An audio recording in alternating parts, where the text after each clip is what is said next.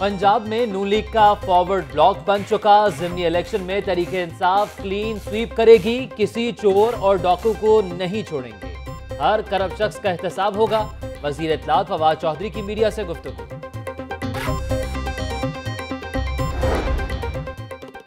شہر لاہور کے پہلے ڈیم کا منصوبہ، ڈیم کی ماڈل سٹڈی تکمیل کے آخری مراحل میں داخل۔ عدالتی احکامات پر بنائی جانے والی کمیٹی کا دوسرا اجلاس پندرہ اکتوبر کو طلب۔ سمگل شدہ موبائل فونز پر پابندی، شہری اور دکاندار پریشان۔ اچانک پابندی سے ملک میں اچھے موبائل فونز کی قلت پیدا ہو سکتی ہے۔ صارفین کے نقصان کا ذمہ دار کون ہوگا؟ شہریوں کی دہائی۔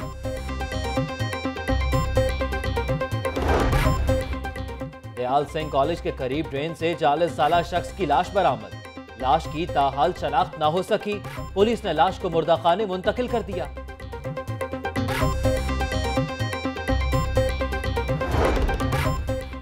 خیبر میل ٹرین حادثے سے بال بال بچ گئی۔ ڈرائیور پھاٹک پر کمپلین ٹوٹنے سے گاڑی دو حصوں میں تقسیم۔ ڈرائیور نے ایمرجنسی بریک لگا کر ٹرین کو حادثے سے بچا لیا۔ ریلوے پولیس کا بھیکاریوں کے خلاف بھیک کا اکراؤن ٹرین میں بھیک مانگنے والے نوجوان کو دھر لیا مقدمہ درج۔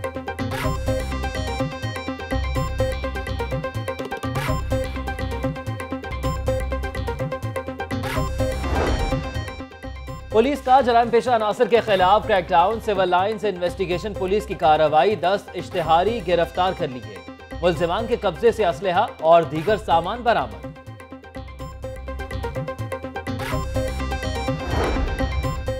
شہر میں ناقص سیوریج کے بڑھتے مسائل، شہری پریشان۔ شراکوٹ میں ابلتے گٹروں کا مسئلہ حل نہ ہو سکا۔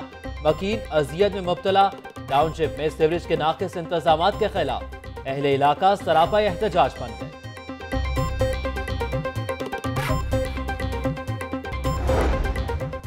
ایبرٹ روڈ پاسپورٹ آفس میں بغیر ایجنٹ پاسپورٹ بنوانا ناممکن ہو گیا۔ عملے کے رویے سے تنگ بزرگ شہری نے وزیر اعظم کو خط لکھ دیا۔ پاسپورٹ آفس میں دھکوں سے سوا کچھ نہیں ملتا۔ عملہ بلا جواز تنگ کرتا ہے خط کا مطلب۔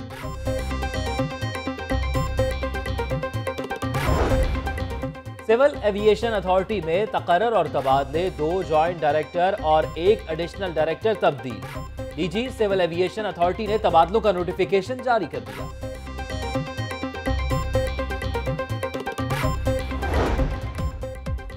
اور آر پی او فیصل آباد غلام محمود ڈوگر کے والد کی نماز جنازہ، خالد مسجد، کیولری گراؤنڈ میں ادا۔ آئی جی پنجاب محمد طاہر، امجد جاوید سلیمی، منتظر مہدی، شہزاد اکبر، سجاد منج، عمران احمد، رانا طاہر سمیت دیگر پولیس افسران کی شرکت